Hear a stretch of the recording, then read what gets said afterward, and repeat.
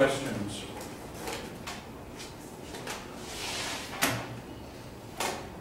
By the way, anybody out there in YouTube land, this is coming to you from the University of New Mexico. You, uh, okay, um, questions? All right. Let me, um, say that I've, uh,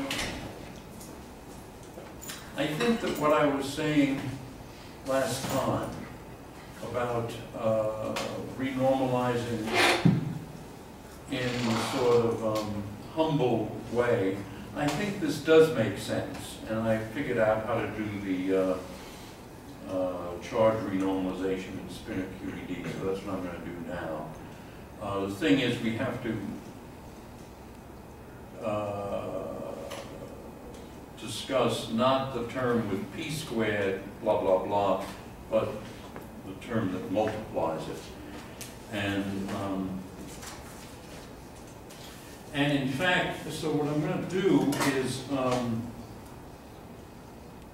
assume that we, well, let me just start with what it is that we're dealing with. Um, So we're talking about this diagram, we can have P here, K. Um, we can call this P minus K, and then P. And uh, remember that this is basically minus, uh, minus I E squared into E fourth K over two pi to the fourth, and then, uh, I'm gonna write this as I squared, that's over the two fermion propagators, and then we have a trace here of gamma mu k slash minus p slash plus m gamma nu uh, k slash plus m. And then this is divided by uh, p minus k squared minus m squared uh, plus i epsilon times k squared minus m squared plus i epsilon. Because it's a loop diagram, the i epsilons are actually important. Um, when I was talking about this last time, I had a bit of trace phobia.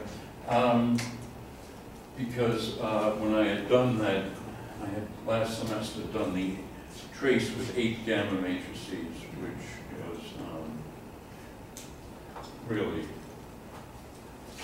a little too much. Um, this one actually is much simpler because you see you can use the relation, the trace of gamma mu, gamma alpha, gamma nu, gamma beta, which is the form we have here, is 4 g mu alpha g mu beta minus g mu nu g alpha beta plus g mu beta g nu alpha or g alpha nu. Do I have this right? Mu with alpha, okay. Mu with nu, mu with beta, yes. And um, anyway, if you do that, then, um, and you drop the various terms, uh, which, the, the p nu, p nu terms, then um, what you have is something that Schwartz called IP mu nu, mu nu 2, and minus 4 e squared and equal d fourth k divided to the fourth, and then 2 k mu k nu plus g mu nu uh, minus k squared plus p dot k plus m squared. And then this is over those two denominators, I just write them like this. Then we do the, um, the Feynman trick and um, this then becomes uh, pi mu nu 2 is uh, for i e squared integral d fourth k 2 pi to the fourth. Um, And then integral 0 to 1 dx. uh, And then what you have is 2k mu k nu minus g mu nu. This is after a shift on k, so you let, you shift k mu to k mu um, plus p mu times 1 minus x, that's a 1. And then this becomes uh, g mu nu times k squared minus x, 1 minus x, p squared minus m squared, and then down here we have something simpler, which is um, k squared plus p squared x, 1 minus x, minus m squared squared. This is after a, um, uh, after a wick rotation, um, at least I think it's after the wick rotation. Um, Anyway, once we have this thing of the form k squared, if we had kept the i epsilon, then we could do the wick rotation. And then uh, this is, uh, k squared is just k Euclidean squared.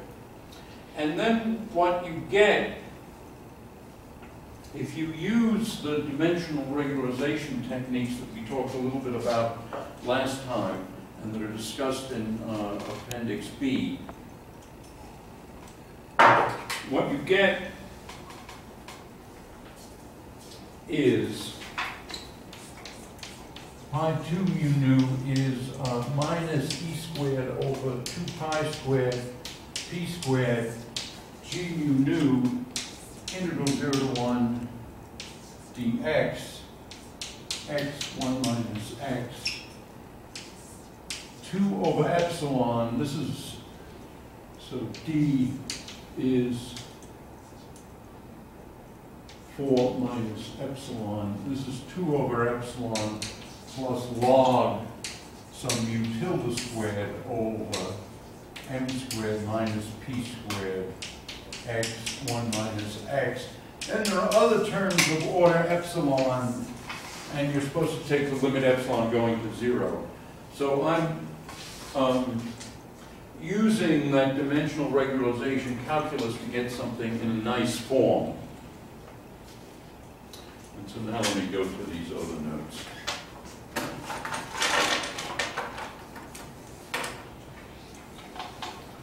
Okay, um, let's set mu tilde squared equal to m squared. And, um, once again, my view is here that this thing is, uh, um, represents this divergent interval, but what's finite, I'm going to let this be uh, the following, minus e squared, p squared, g mu nu over 2 pi squared, and I'm going to call this sigma, the rest of this sigma. Then what we can say is that um, sigma is integral 0 to 1 dx, x 1 minus x, 2 over epsilon minus log of, um, yeah, minus log of 1 plus q squared over m squared, x 1 minus x. q squared here is minus q squared. So we're going to be looking at this this is going to be thought of as a T-channel process. So I'm thinking of this as then sigma of q squared, which is to say sigma minus. Okay, well, d sigma, dq squared, of course, is something quite finite. And in fact, if you do the differentiation, at least the way I did it, I got minus 1 over m squared, and integral 0 to 1 dx x squared, one minus x squared over one plus q squared over m squared, x one minus x. So the derivative of sigma with respect to q squared is perfectly finite. And what we can do is we can say then that sigma of q squared is equal to some sigma of q zero squared uh, minus uh, this integral, which would be from q zero squared to q squared to q squared of one over m squared integral zero to one dx x squared one minus x squared over one plus q squared over m squared x one minus x. And um, if we let beta equal uh, q squared over m squared x 1 minus x, then this is just an integral, well, then this is sigma of q0 squared minus the integral d beta 0 to 1 dx x 1 minus x over 1 plus beta. So that's not all that hard. And um, that gives us uh, sigma of q0 squared minus the integral 0 to 1 dx x 1 minus, yeah, let, let me just um, mention what happens here. If beta, you see, is q squared over m squared x 1 minus x, then, now I almost feel as though I've left, ah, yes, this is dq squared, and then I borrow an x 1 minus x and a 1 over m squared, and that's the d beta term, okay?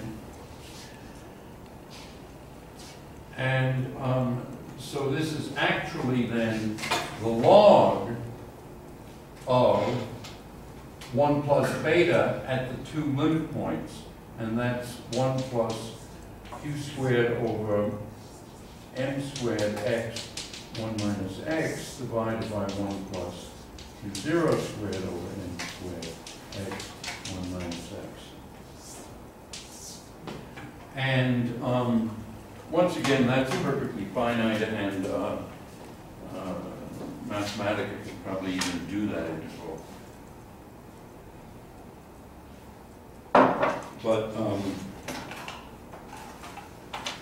what we can do is, at this point, make more contact with um, with Schwartz's term. Um, so what I'm going to do is I'm going to pull the log of the denominator and combine it with sigma of q0 squared um, and uh, say that uh, then that's something that gets measured and then we find out what sigma of, of q squared is. So I call that, um, I said this then was equal to sigma of q0 squared plus i0 minus integral 0 to 1 dx, x 1 minus x log 1 plus q squared over m squared x 1 minus x. All right. Now, and, and I0 is obviously, it's the same integral but with q0 squared. Maybe I should, down. I zero is integral zero one dx x one minus x log one plus q zero squared m squared x one minus x.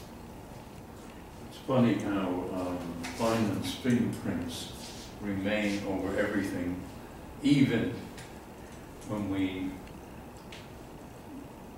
do the renormalization in this other way. His, uh, his Feynman X is still there. Okay, well, um, to make contact now with Schwartz's notation, let's recall we had pi mu nu was e squared q squared, it was a minus p squared, over 2 pi squared g mu nu sigma. And equivalently, that's minus e squared p squared over 2 pi squared g mu sigma of minus p squared. Okay, and um, Schwartz's dress propagator is this thing. I'm using the right terminology. In any event, what we've got here is minus i g mu nu over p squared. So this is the Feynman gauge propagator with a photon. That's this term.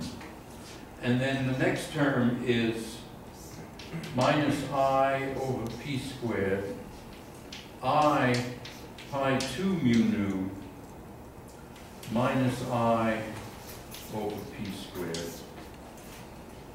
And uh, I've been leaving out the p mu p nu terms because between conserved currents they go away.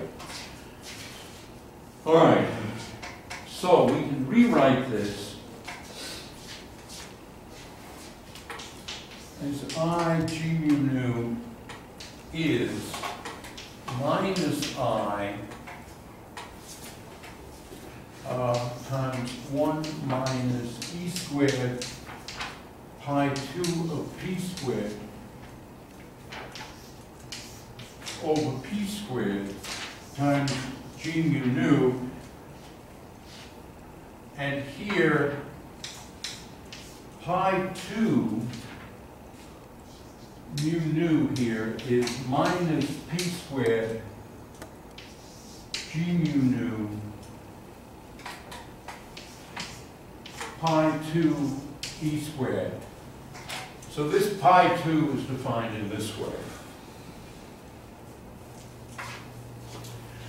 Okay, well this then, the pi 2 then is a correction to the, uh, to the uh, propagator or to the electric charge. And here it's a correction to the propagator. So that means that the, effectively the electric charge is momentum dependent. And since this, the way I'm doing it, the pi 2 is, um, it's related to sigma q squared. I'm saying that this is something that's measured and um, effectively, all right, so let, let's, let's now go from uh, momentum space to position, well, no, stay momentum space, but let's ask ourselves, what is the um, Fourier transform of the Coulomb potential, or the corrected Coulomb potential? Well, then it's going to be E squared, 1 minus E squared pi 2 of P squared over P squared, right. And then this is E squared over P squared 1 plus e squared over 2 pi squared minus sigma of minus p0 squared minus i0 and then plus an integral 0 to 1 dx x 1 minus x log 1 plus q squared over m squared x 1 minus x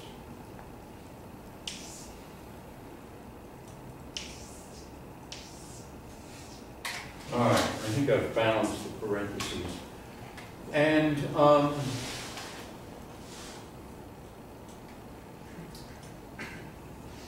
the idea then is that if um, if we're going to compare with experiment, then we have to have the thing the same as what Schwartz has. And so then I'm going to have, I'm going to set these two guys equal to zero. In other words, when, when one measures, this is finite, when one measures this one finds that it's finite and that it cancels that, and then we have this formula, which is, which is, um, the, the, the Schwartz formula. So in, uh, so in other words, this is equal to e squared over p squared, one plus e squared over two pi squared, integral zero to one dx, x, one minus x log, one minus p squared over m squared, x, one minus x. Okay, so that's the correction in momentum space to the Coulomb potential. All right, other questions? I see, I see one frown. I just, um, why, why can those terms, why do those terms cancel? Well, it's not that, remember, we, we, we, we compare with experiment at some point to identify what the, um, good catch. Uh, to identify what the, uh,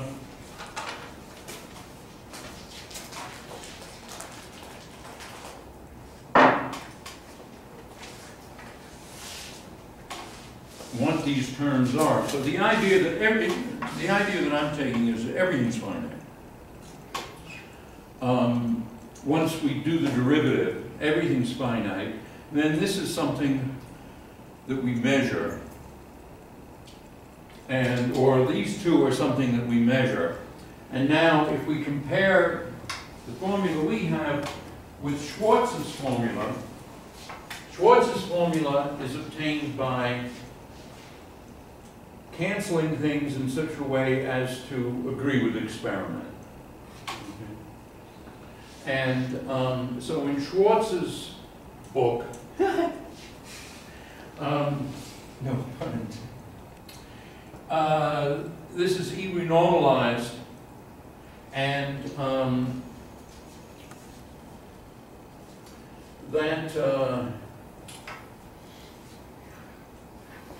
And, and so, that's this, that's what I'm taking as comparing with experiments, since I can't do the experiment on. So these corrections have been measured? Huh? These corrections have been measured? Corrections? Well, the, I, uh, I mean, yes, in the, I'll, I'll be getting to that in just a moment. Um, in other words, if we take this formula, we'll see it agrees with experiment. Once we've got, once we've uh, dropped these guys. All right. So the spirit of the thing then is that the, the Feynman diagrams give you something that you then differentiate, and once you differentiate, everything's finite, and you're basically home free. So that's the viewpoint I'm taking. I think it, I think it makes, I think it makes everything simpler, but as I've said to you, I've never been uh, either a fan or an expert of renormalization, but I, I think this is better, simpler. At least you don't have these damned infinities that you're manipulating algebraically, which makes no mathematical sense. Okay, uh, so let's, uh, go to a certain limit, p squared much less than m squared, the mass of the electron. So this is very low energy. Then uh, what happens here? Well, the log of 1 minus epsilon is just minus epsilon. And so then what we have is that this is um, approximately e squared over p squared 1 uh, plus e squared over 2 pi squared integral 0 to 1 dx x 1 minus x times minus p squared over m squared x 1 minus x. And then um, one simply does the x integral and um, and then what you find is that this whole thing is E squared over P squared minus E to the fourth over sixty pi squared M squared. So there's the M squared, there's the pi squared, and, um, this P squared canceled with that P squared. And, um, oh, uh, right, okay. So this is the expression for very low, uh, P squared. And this is called the Uehling term. I really don't quite know how to pronounce it, but anyway. The Uehling term, and, um,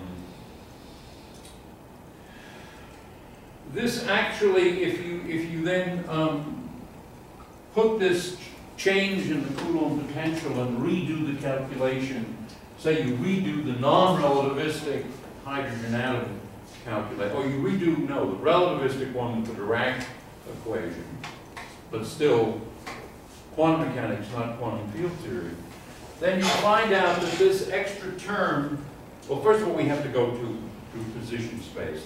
In position space, this is V of R is minus E squared over four pi R, so that's the Coulomb potential, and then minus E to the fourth over sixty pi squared M squared delta of R. So it's a one-dimensional radial delta function. And so when does this contribute? This contributes only, only to S states.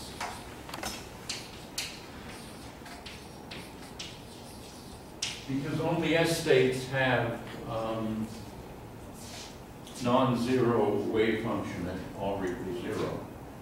And so this lowers uh, E to S one half. And I guess that, well, when, when Uehling computed this, um, you know, nobody could measure this.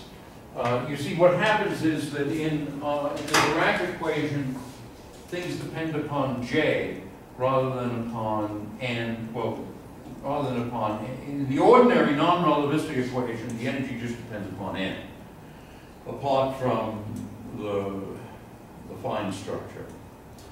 And in the Dirac equation, it depends upon J. And um, so you have two different J's here. You have 2s uh, 1 half, and then you, you can look at the difference between that and 2p 1 half.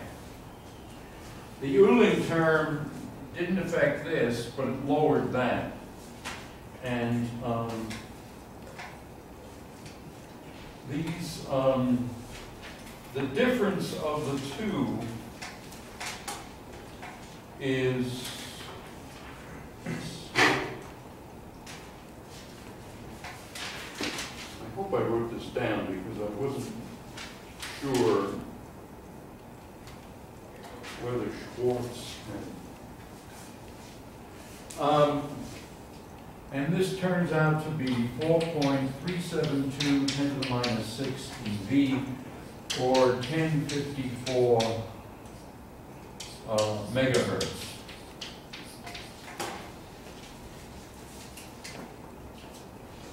So this is sort of high in the FM band, we're very high in the. FM. Band. It's no longer the FM. And, um, so in fact, the Uehling term goes in the wrong direction. Um, because it lowers this guy. But, um, eventually Lamb measured the thing and, um, and at about the same time, uh, um, Bethe did a non-relativistic calculation and got something like a thousand megahertz. Um, and uh, then Feynman, Schwinger, and Tomonaga uh, got the right answer, although um, there was some subtlety having to do with gauge invariance, and only Tomonaga actually got exactly. Anyway, um, So that's, uh, that's the contribution to the Lamb shift. There are other terms that contribute more than this and that give you uh, this value when you combine them with the Euler term. Um, If in fact, uh, instead of just expanding for low p squared, you actually do the integral, then what you find is that v of r is minus squared over four pi r, one plus e squared over six pi squared, integral from one to infinity dx. So this is obviously a different x.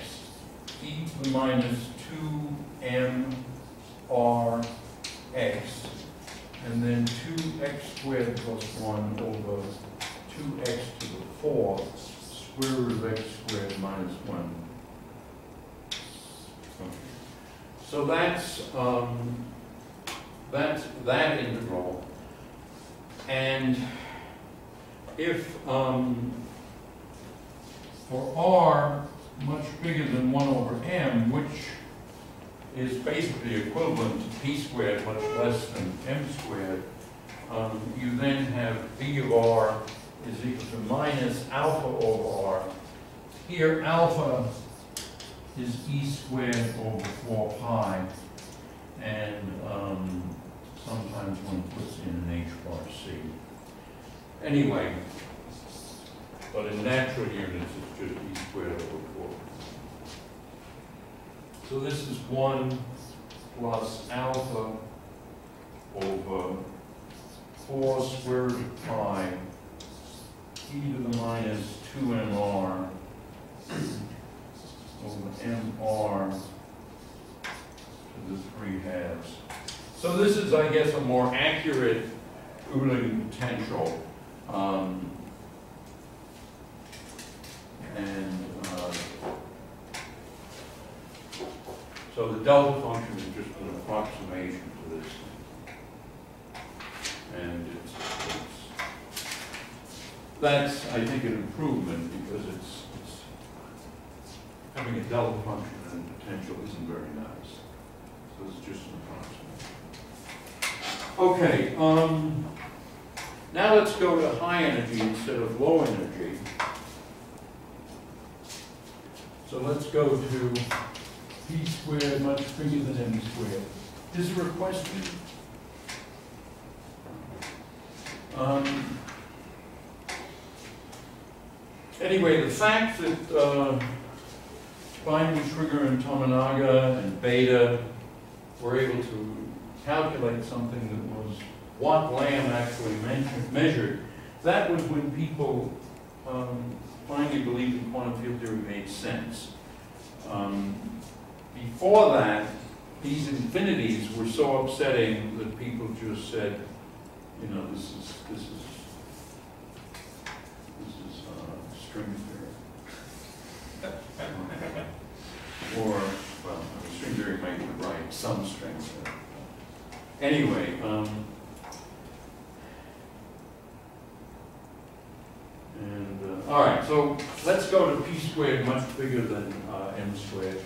Then what we have is v tilde of p is e squared over p squared, one plus e squared over two pi squared, integral zero to one dx, x one minus x log of one minus p squared over m squared, x one minus x. Okay. So we now approximate this for high p squared. Well, no problem. Um, it's just that uh, we'll, if we're talking about this as a potential, then we better be in p in t channel, and in t channel minus p squared is positive, so minus p squared is used. We ignore the one, and then what we get is that this is equal to e squared over p squared plus e to the fourth over p squared to pi squared log of um, minus p squared over m squared. And remember, logs are such that we also have a term log, plus log of x1 minus x, but um, that's, that would be added to this. So it will be plus dot dot dot, but the dot dot dot are negligible compared to minus p squared over m squared. And um, so this is the uh, potential. In other words, it looks like that, or another way of writing it is e squared over p squared, 1 plus e squared over 12 pi squared. Wait a minute, I think I may have left, yeah, I, I, I left something out here. It's, um, it's great that we ignore the x1 minus x in the log, but we still have, um, in fact, let's, let's even not have a parenthesis. It's still integral 0 to 1 dx, x, 1 minus x. And so you do that integral, and uh, you find that altogether then it's uh, e squared over 12 pi, pi squared log minus over squared. Right. So pi squared comes down, and this apparently is one sixth. Um, I hope it's one sixth. Let's just see. Integral dx. It um, gives us um, uh, x squared over 2, so that's 1 half, minus 1 third, right? Uh, Right, x squared, one third. And so that's uh, 1 sixth, yes. Physics is safe. Um, Okay, so we're in the T channel here, and so what we've got here is um, something quite interesting, namely that um,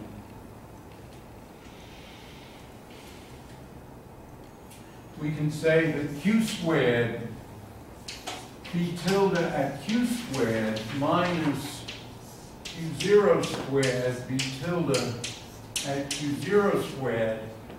This is then e to the fourth over 12 pi squared log q zero squared over q squared. Another way of talking about this is that there's an effective charge, E effective squared of, let us say, q squared is equal to E squared times 1 plus E squared over 12 pi squared log q squared over m squared. Okay. Schwartz puts an R here for renormalize. Because his things are in. Yes. So what happened to the minus sign in the log? Oh, um, we're in the T channel where P squared is negative. Oh, oh.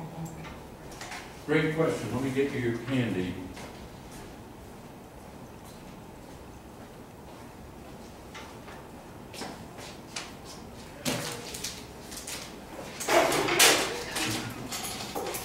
Sorry.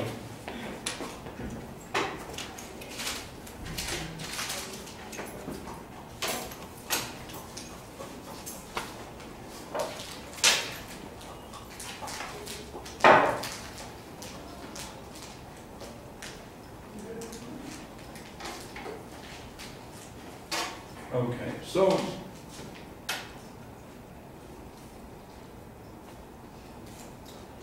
Notice this thing is equal to e squared at q squared, which is minus p squared equal to m squared. So we're defining the effective charge as e squared at some scale, momentum scale, which is uh, m squared. And um, looking at this again, what we see is that the effective, the effective charge grows logarithmically with q squared.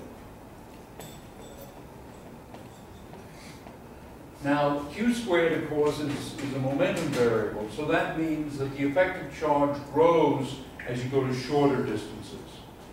On the other hand, it shrinks as you go to um, longer distances, which is smaller q squared.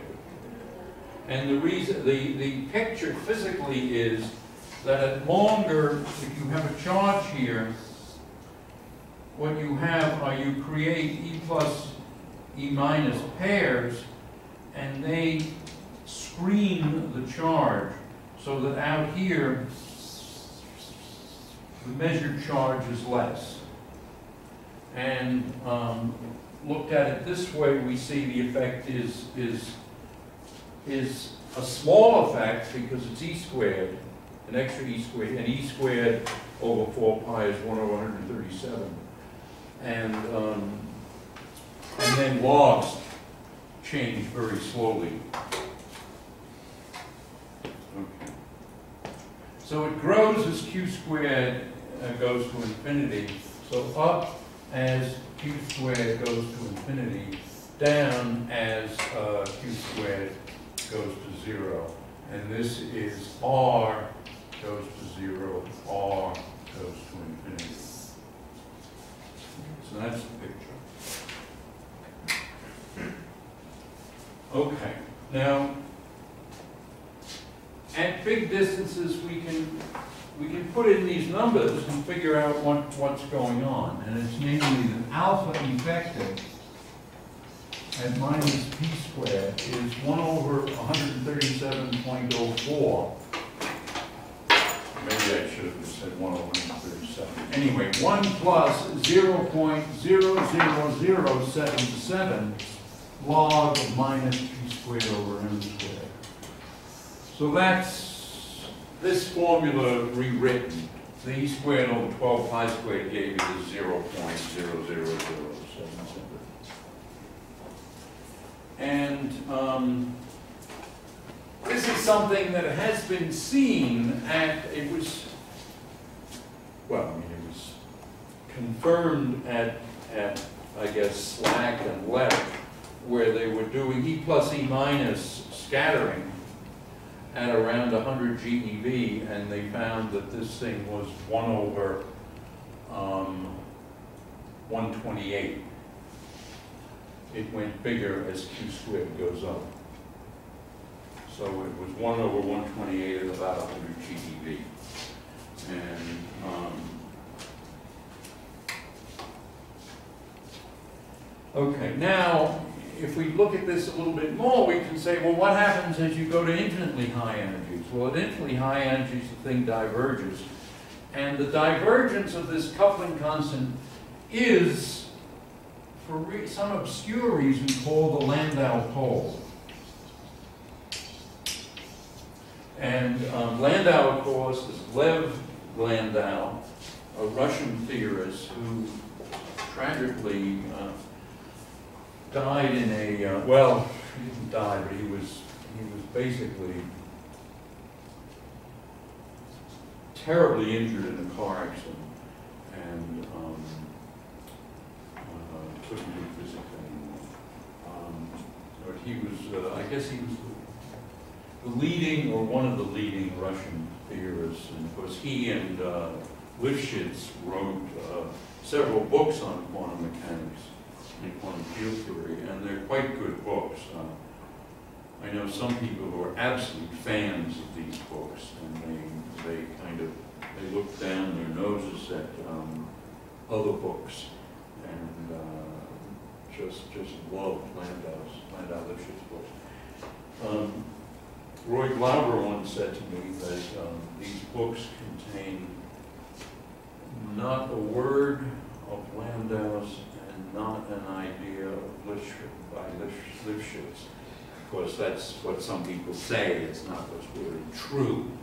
Lifshitz is undoubtedly was a very good physicist. I heard something, by the way, from Igor, um, who was who, who studied at, uh, who has his degree from ITEC, which is where Landau and Lifshitz and the others and that um, apparently Landau was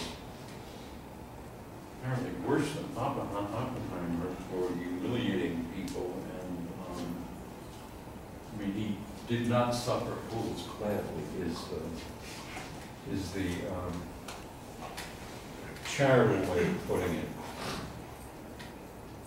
Anyway, um, so this, where is this pole? Well, the pole, uh, basically starts when this correction gets as big as unity. And that turns out to be Q equal to ten to the two eighty-six EV. So you see, this is, um, this is a, um, huge, uh, energy. I remember, I was once, I once had the great uh, fortune to talk with uh, Feynman at Caltech. Um, I asked one question after another, he finally said, give me a break. Um, But uh, one of the things he mentioned was that these coupling constants change logarithmically. And so you see what that means. It's uh, an absurd energy to get there.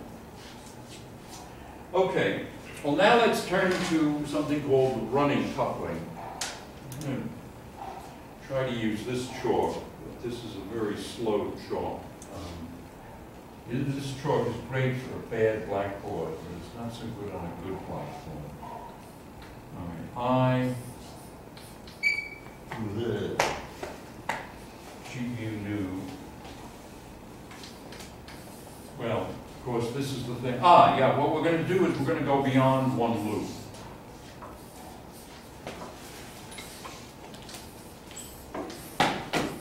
Okay, so that's our picture where this is P and P and so forth. All right, well, we can, if you are careful about what this means, what you find out is that the potential, the T-channel potential, is minus E squared over Q squared, one plus E squared over twelve pi squared log Q squared over M squared.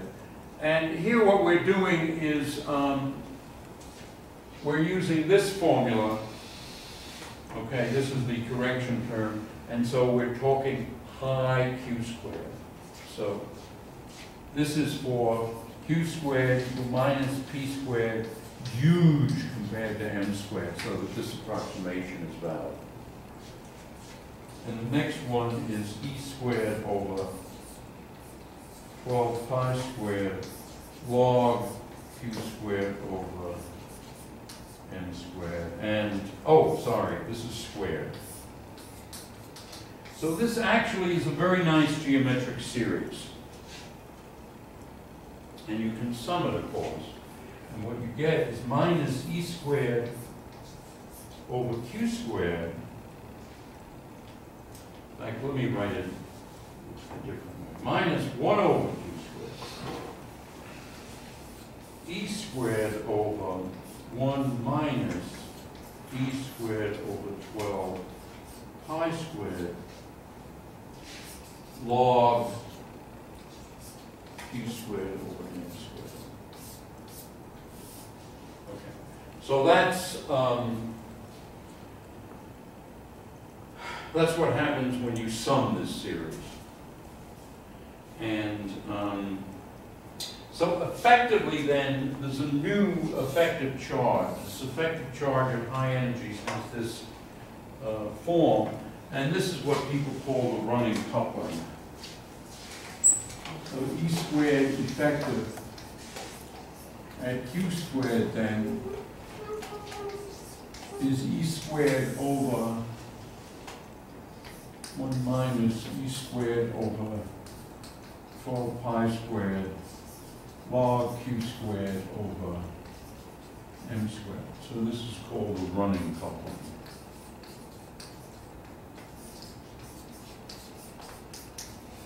Now, what, what, what does this mean? This means that if you're doing, say, T-channel scattering, then the lowest order diagram is this, the next diagram is this. Of course, there are others, but. So you sum them all up, you have an effective coupling, and what the effective coupling is, well, it depends upon Q squared. And so you can, uh, in as much as it's of this form, you can say, well, this potential at Q squared is nothing more than minus E squared effective at Q squared divided by Q squared. So in other words, you can say that the potential is effectively just a Coulomb potential, but you have to change the charge. You have to use a charge appropriate to the energy that you're talking about. Now, let's just focus on one more thing, why this makes sense at all. It makes sense because the rate at which the effective charge varies with Q squared is slow. So in other words, if you're somewhere near 100 GeV, then you use this value and it's good, you know, within 10 GeV or so of 100 GeV. And you use the value, so in other words, you can think of it as a constant. That's why it's not completely nuts to say it's the running coupling constant.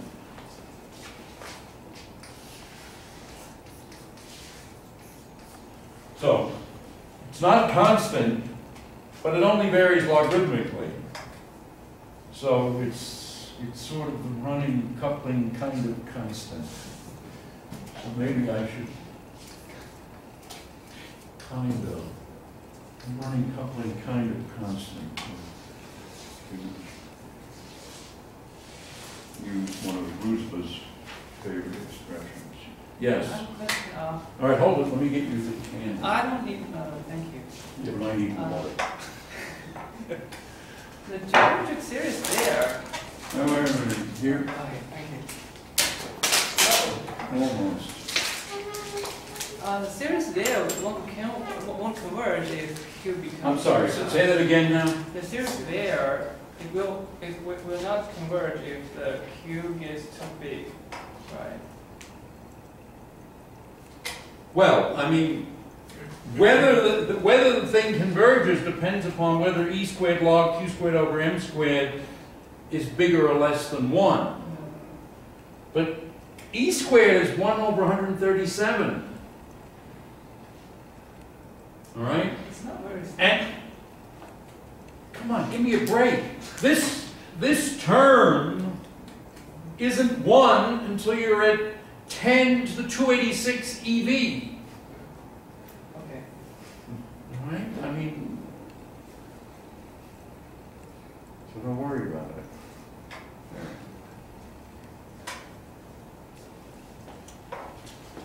Okay.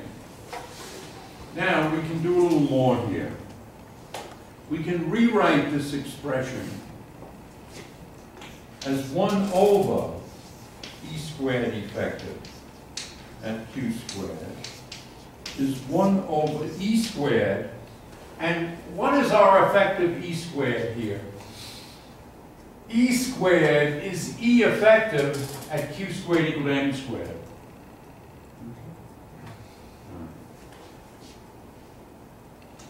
So 1 over e squared at m squared minus 1 over 12 pi squared log q squared over m squared.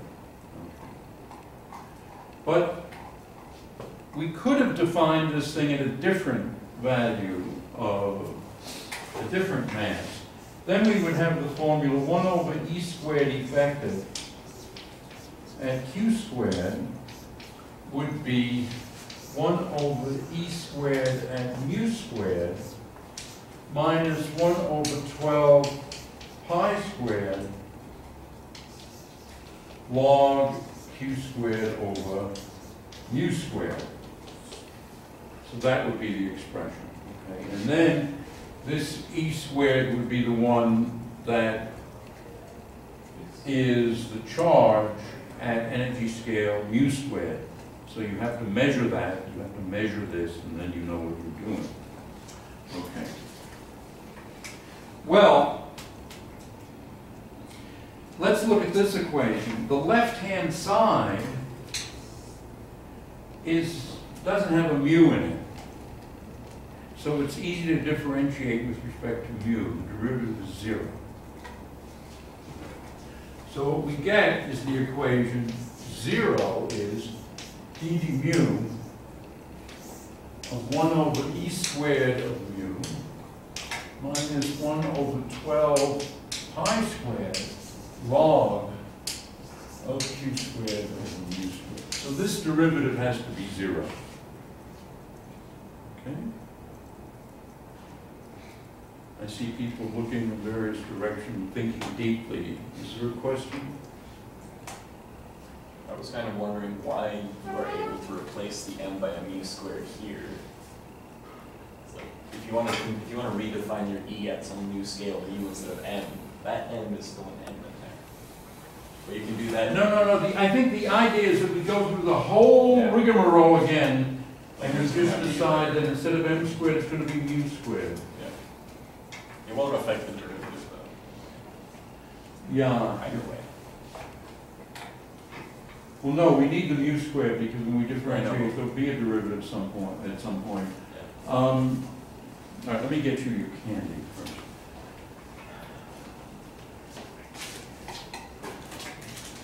Okay, here it comes.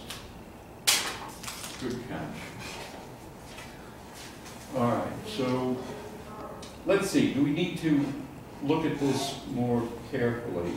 No, I think, you see, the m squared here was completely arbitrary. Right? Well, yes and no. Let's, let's think about it. Um, I mean, it may be effective mu squared. all right, all right, here's the point. You see, this e squared here, taking as the coupling constant of the theory. And, um, And, was- So what is, what, what do we say this is? Well, it's at this point, we've got a, this M, this M starts out as the mass of the electron. But, um,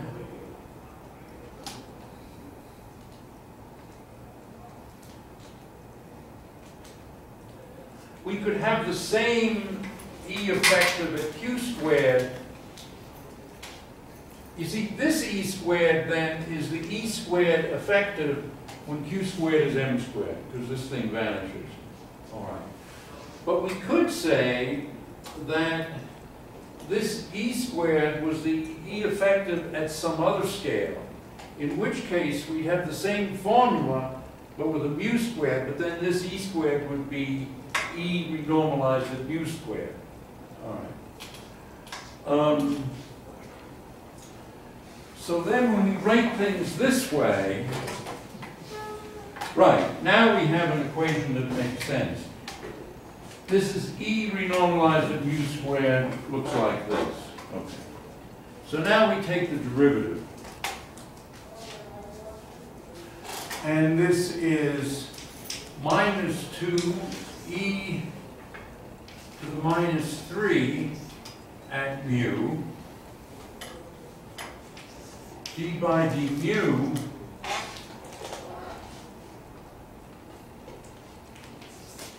of E of mu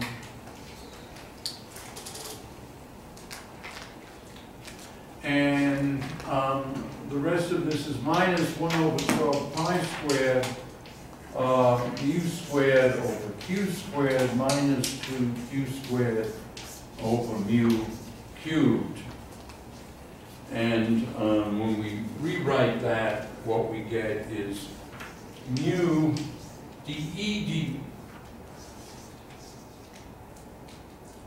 well, I could put in extra steps, but cutting to the chase, mu dE d mu is E cubed over twelve pi squared.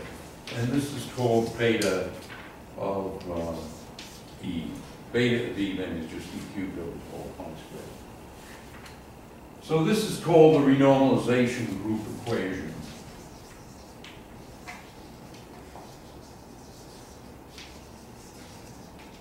And this thing, as far as I know, is not a group, or at least I don't, I guess you can think of it as a group of transformations.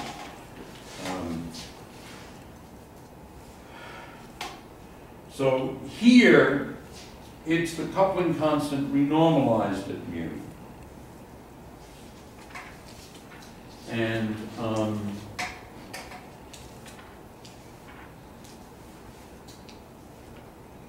and that's the same thing as E effective at q squared equal to mu squared, because if you set q squared equal to mu squared, you see E effective at q squared is the same as E squared at mu squared. So we could equally well call this E of mu is effectively E effective of mu. All right.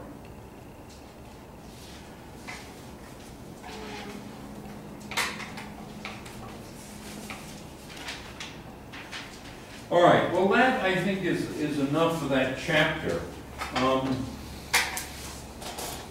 in the next chapter, what we're gonna do is, um,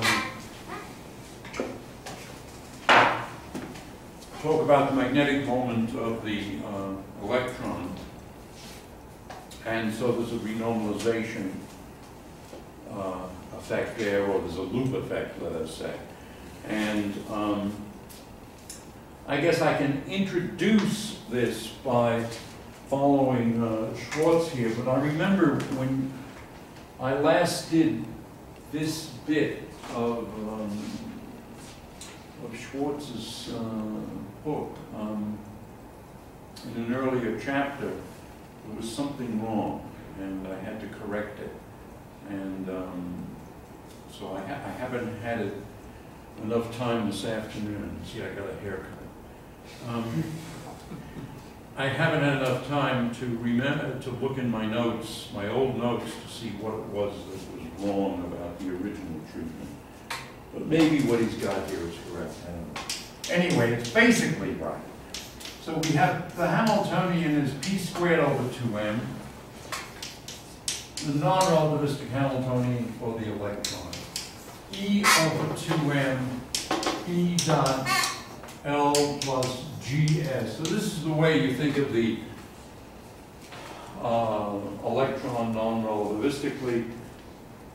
And you have here S is sigma over 2. And now if instead you use the Dirac equation, what you find is that automatically this G is equal to 2. And um, this is from using the Dirac equation, I d slash one, uh, minus m psi equals zero for this four component object. And um, so this was one of the big successes of the Dirac equation. The other was getting the energies right, but um, this was getting the uh, spin uh, right. And the, this was said to be the anomalous magnetic moment of the electron. Um, why was it two rather than one? Uh, in other words, you should just add L plus S was the thought. But no, you have to add L plus two S. So then people wondered, was it exactly two? And um, I guess uh, Dirac figured this out in the 20s, the late 20s, and um, in the, I guess around 1950, which was maybe 20 years later or so, uh, Schwinger, Feynman, and Tomonaga worked out what the loop correction to G was.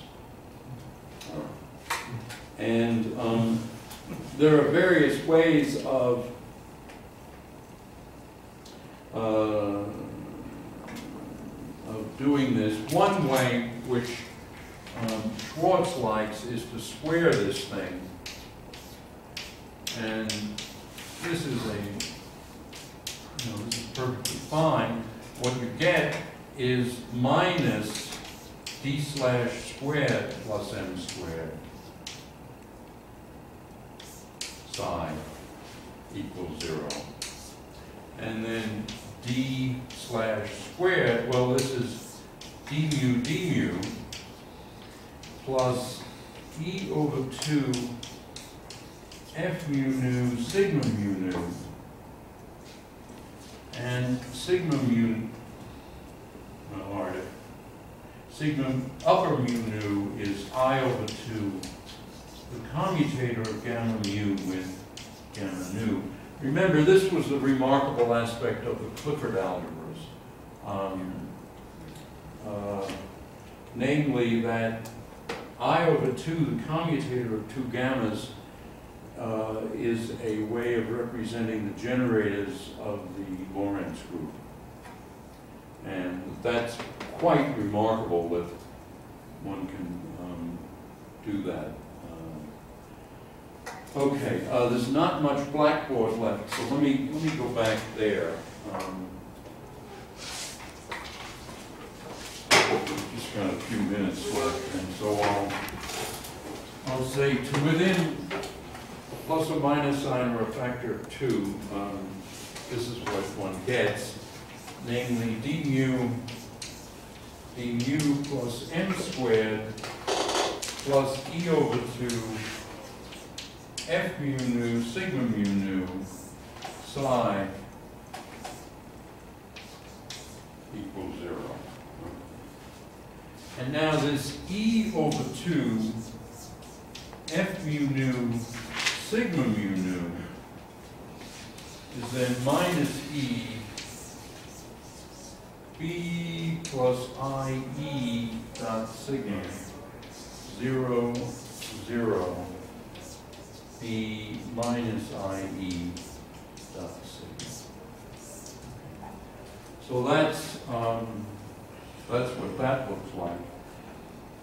And so the full, um, Dirac equation here turns out to be, well, maybe I'll use this blackboard up front, which is erased, but it's not a very good blackboard. So maybe I'll use the slow chalk it. So we get H minus EA zero squared sine over two M.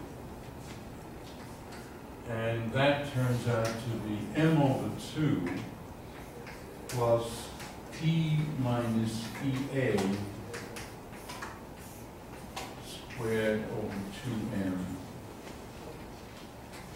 minus two E over two M B dot S plus or minus I E over M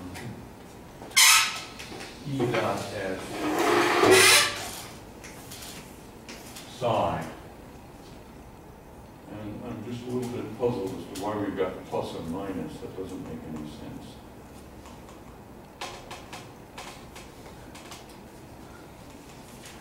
Well, anyway, as I said, I, um, basically, um,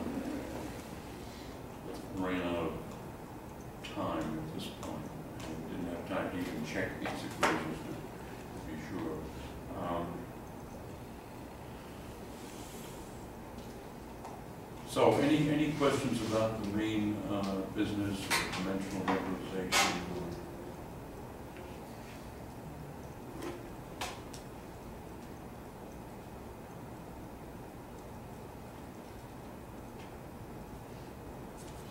All right, so we'll go on with this next time, I guess